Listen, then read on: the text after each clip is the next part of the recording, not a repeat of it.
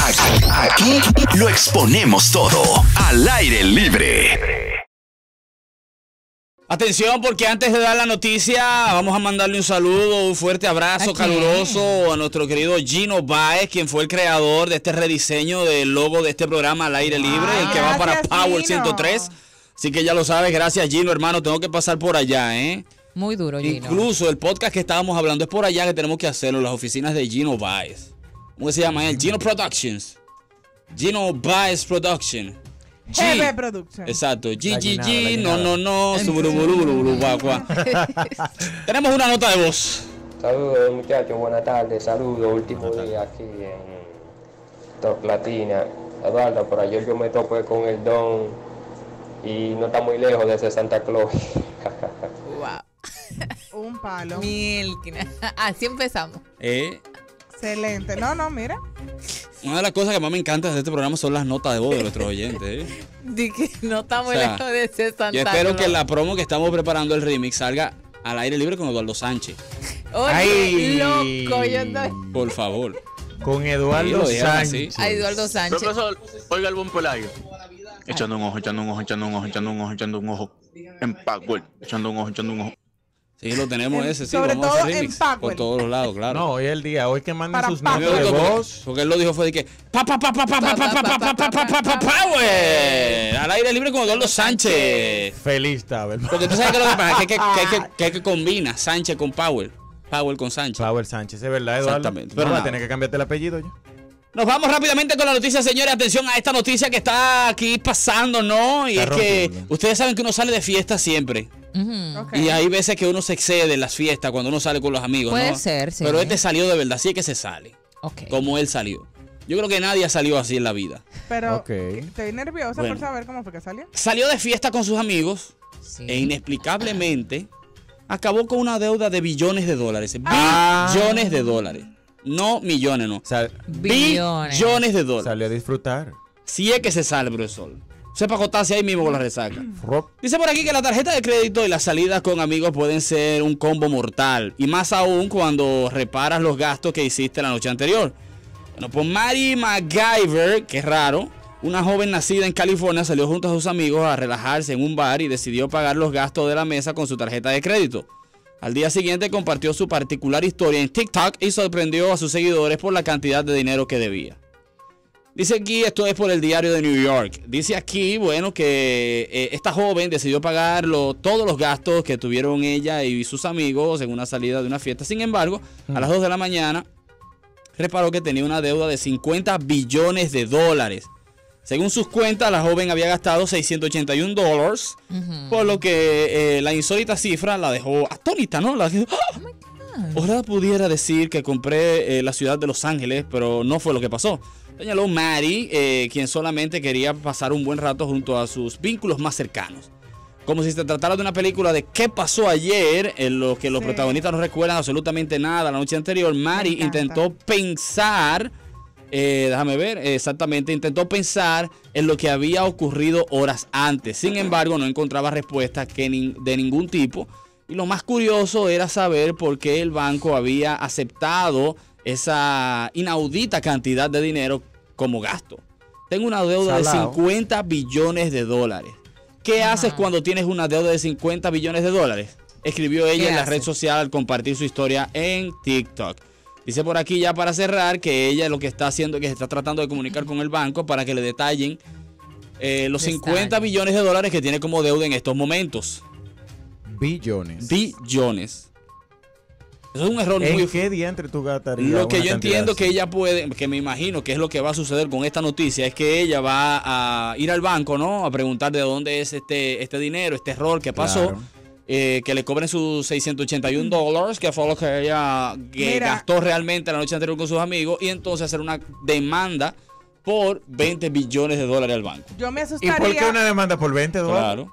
¿Cómo me están cobrando 50? Daños y prejuicios. Y si, y si por y va y mano el diablo, yo no, no, que dan con que yo debo 50 millones de dólares, no se sabe de dónde. Es que no yo tengo que- con eso, en lo- déjame decirte algo, hey. En lo que ella empieza a abrir un papeleo y un caso, ella tiene que ir Ah, pagando sí, esos cuartos. Págate un dinero en abogado, ¿verdad? Ahora yo me preocuparía si de mi cuenta salen más de mil pesos, porque ahora mismo yo no tengo. La cuenta que más tiene mía tiene de una vez. 5 pesos. Al aire, buenas. 5 lo dice. así. Eduardo, Adelante, hermano. tardes. Lo primero es que no hay tarjeta de crédito que soporte esa que se la deja un simple mortal. Mm. Es número uno, no es negra, ajá.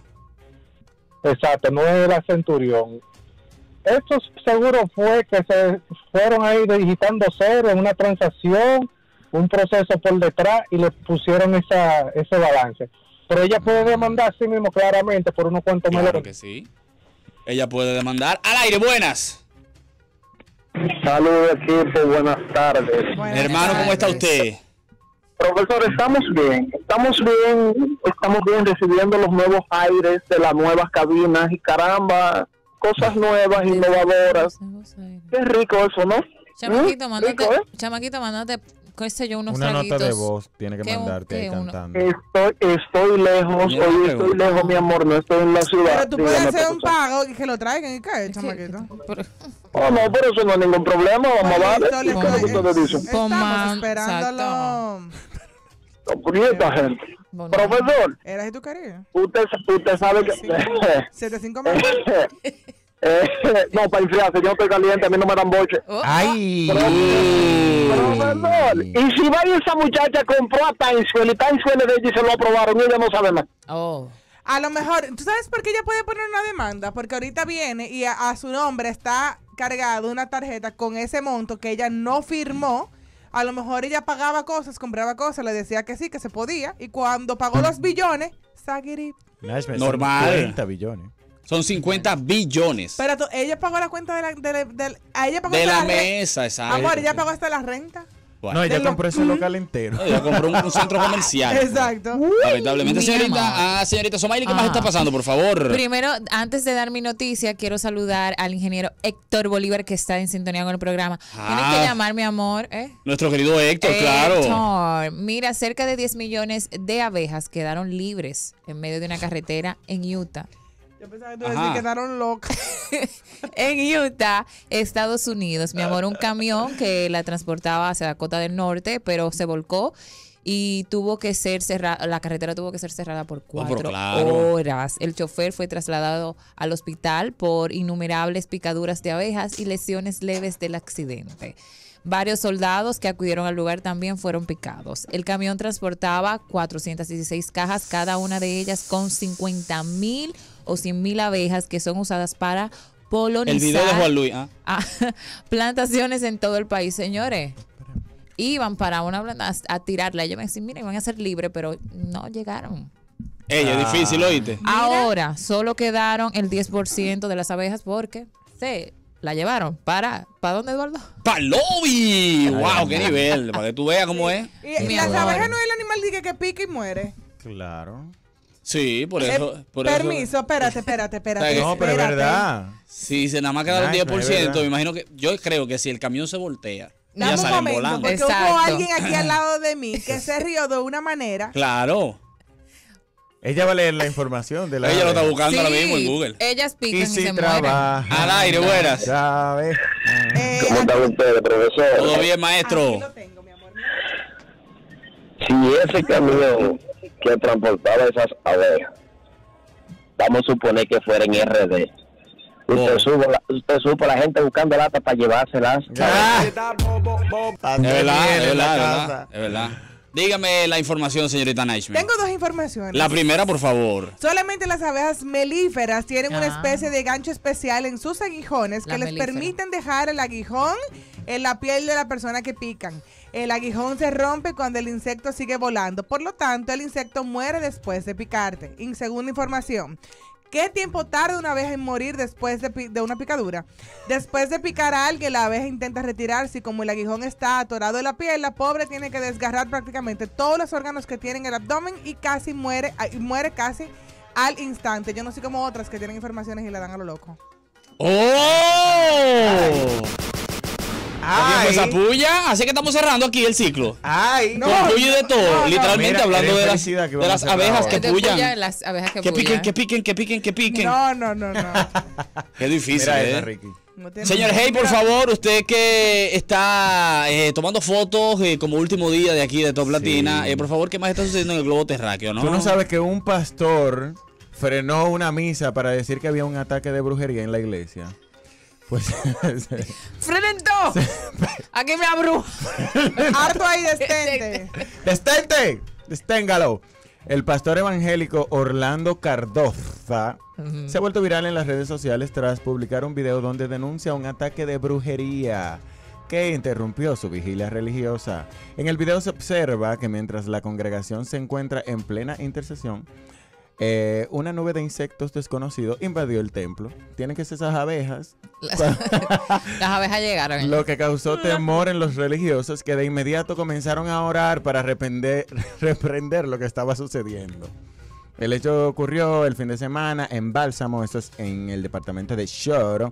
Dice, son casi 14 años que tengo predicando el Evangelio y es algo que nunca había acontecido, nunca había visto un suceso así, dijo el pastor.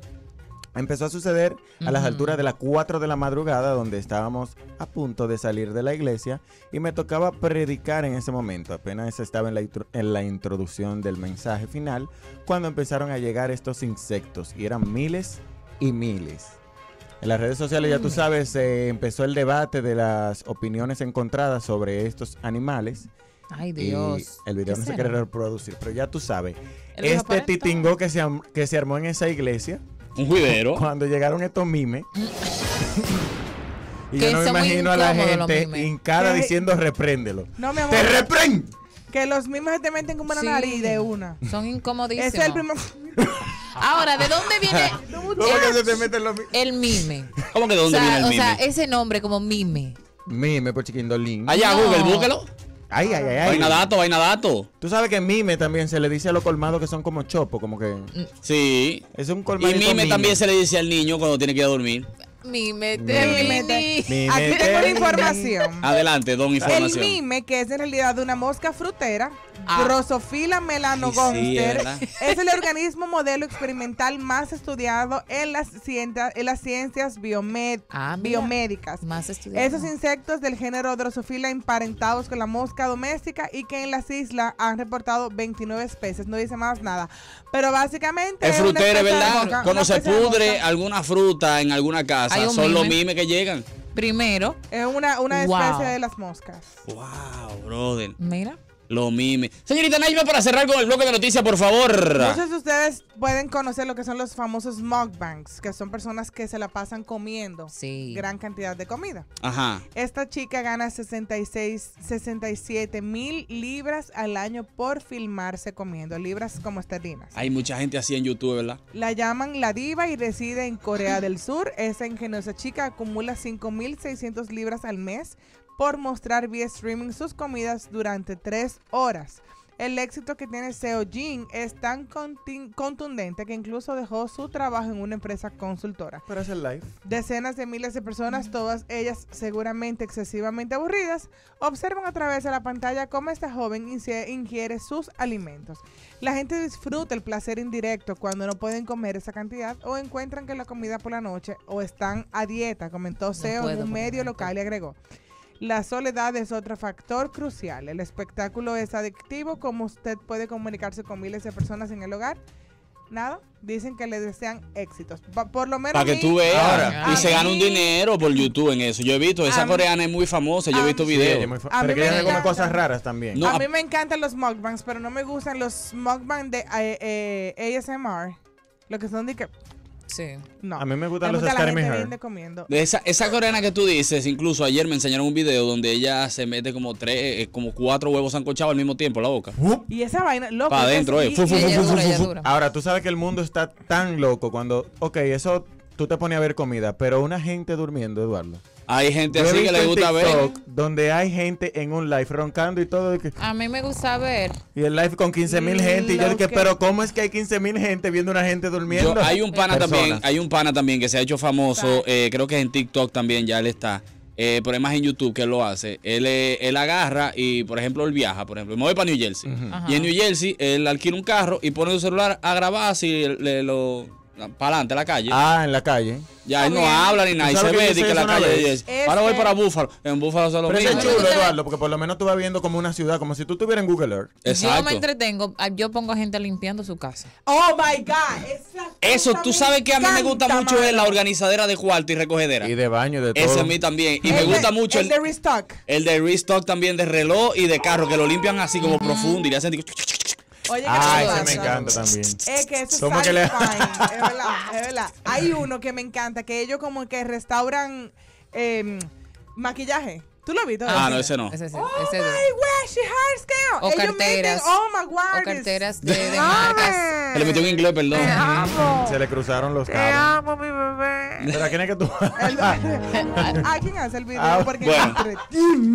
Ahí están las noticias en este programa al aire libre. Usted no se mueva porque venimos con más, así que ya lo saben. Vamos a ver si esto me va cargando mientras tanto para tirarlo de una vez. Y bueno, es al aire libre.